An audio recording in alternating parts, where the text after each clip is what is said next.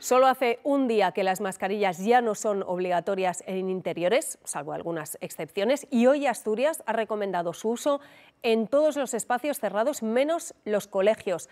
Lo hace María Alonso porque han aumentado los casos.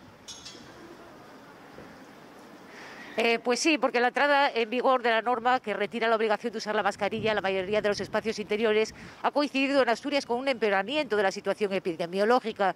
En dos o tres semanas hemos pasado de una situación de riesgo bajo a estar en riesgo alto, sobre todo por ingresos hospitalarios de personas mayores de 60 años. La mayoría no requieren cuidados intensivos, pero hay que tener en cuenta que más de la cuarta parte de la población asturiana ha cumplido ya los 60 y el Gobierno del Principado apela a ese uso responsable que establece el decreto para pedir que sigamos protegiéndonos y protegiendo a los demás. También se toman medidas en Asturias para seguir incrementando los diagnósticos y propiciar aislamientos. El lunes va a entrar en vigor un nuevo sistema de vigilancia de las enfermedades infecciosas agudas y también se ha lanzado la recomendación al Ministerio de Sanidad de que propicie la vacunación de refuerzo, la segunda dosis, a las personas mayores de 80 años.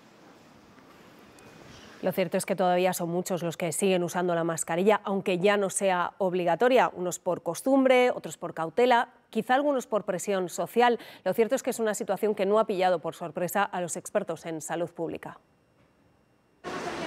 Son obligatorias en casos contados y sin embargo las seguimos viendo hasta por la calle. Ha venido la gente de la Semana Santa y hay que mirar a ver los datos. Me la quito cuando en sitio amplio. Seguimos con ellas por precaución, pero también por presión social. Pues todavía hay gente que mira un poco mal, pero bueno. Pareces eh, que estás haciendo algo mal y realmente ya, ya hay que llevarla, entonces bueno. Son reacciones que no sorprenden a los expertos porque llevamos muchos años utilizando ya mascarilla, entonces ah, no va a cambiar de una mañana de la mañana a la noche. Sanidad ha condicionado su retirada a que los números de casos graves sigan bajos. En este momento la ocupación en cuidados intensivos es inferior al 4%. Ahora que son voluntarias en interiores, conviene recordar, esta mascarilla, la quirúrgica, solo protege al resto. Con esta otra, con las tipo FFP2, protegemos al resto y también a nosotros mismos. Hay que llevarla siempre a mano porque en espacios cerrados de riesgo, es decir, con aglomeración de personas y poca ventilación, si hay alguien contagiado, la eficacia de las mascarillas va casi no la llevamos todos porque hay más aerosoles en ese, en ese lugar cerrado.